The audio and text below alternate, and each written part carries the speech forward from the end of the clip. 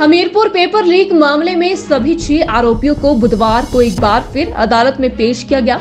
इस मामले में मुख्य आरोपी उमा आज़ाद और दलाल संजीव कुमार को अदालत ने फिर तीन दिन की पुलिस रिमांड पर भेजा है, जबकि अन्य चार आरोपियों को चौदह दिन की जुडिशियल रिमांड में भेजा गया है। मामले में विजिलेंस की टीम ने आरोपियों को बुधवार को दोपहर बाद अदालत में पेश किया। बताया जा रहा है कि विजिलेंस टीम की तरफ़ से अदालत में ये तर्क दिया गया कि आरोपियों के ठिकानों पर मुख्य आरोपी उमा आज़ाद और दलाल संजीव कुमार से अभी और भी पूछताछ की जानी बाकी है। विजिलेंस की तरफ़ से पाँच दिन के पुलिस रिमांड को लेकर पक्ष अदालत में रखा गया था लेकिन अदालत ने तीन दिन का पुलिस रिमांड मंजूर किया है। तीन दिन का पुलिस रिमांड मिला है उमा आज़ाद और संजीव को और बाकी लोगों का को ज़्यादा दिन का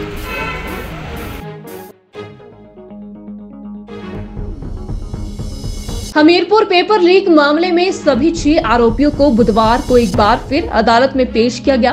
इस मामले में मुख्य आरोपी उमा आज़ाद और दलाल संजीव कुमार को अदालत ने फिर तीन दिन की पुलिस रिमांड पर भेजा है, जबकि अन्य चार आरोपियों को चौदह दिन की जुडिशियल रिमांड में भेजा गया है। मामले में विजिलेंस की टीम ने आरोपियों को बुधवार को दोपहर बाद अदालत में पेश किया। बताया जा रहा है कि विजिलेंस टीम की तरफ़ से अदालत में ये तर्क दिया गया कि आरोपियों के ठिकानों पर मुख्य आरोपी उमा आज़ाद और दराज संजीव कुमार से अभी और भी पूछताछ की जानी बाकी है। विजिलेंस की तरफ़ से पाँच दिन के पुलिस रिमांड को लेकर पक्ष अदालत में रखा गया था लेकिन अदालत ने तीन दिन का पुलिस रिमांड मंजूर किया है। तीन दिन का पुलिस रिमांड मिला है उमा आज़ाद और संजीव को और बाकी लोगों का को ज़्यादा दिन का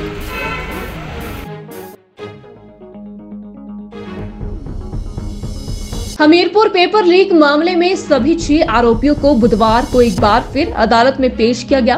इस मामले में मुख्य आरोपी उमा आज़ाद और दलाल संजीव कुमार को अदालत ने फिर तीन दिन की पुलिस रिमांड पर भेजा है, जबकि अन्य चार आरोपियों को चौदह दिन की जुडिशियल रिमांड में भेजा गया है। मामले में विजिलेंस की टीम ने आरोपियों को बुधवार को दोपहर बाद अदालत में पेश किया। बताया जा रहा है कि विजिलेंस टीम की तरफ़ से अदालत में ये तर्क दिया गया कि आरोपियों के ठिकानों पर मुख्य आरोपी उमा आज़ाद और दलाल संजीव कुमार से अभी और भी पूछताछ की जानी बाकी है। विजिलेंस की तरफ़ से पाँच दिन के पुलिस रिमांड को लेकर पक्ष अदालत में रखा गया था, लेकिन अदालत ने तीन दिन का पुलिस रिमांड मंजूर किया है। तीन दिन का पुलिस रिमांड मिला है उमा और संजीव को और बाकी लोगों का ज़्यादा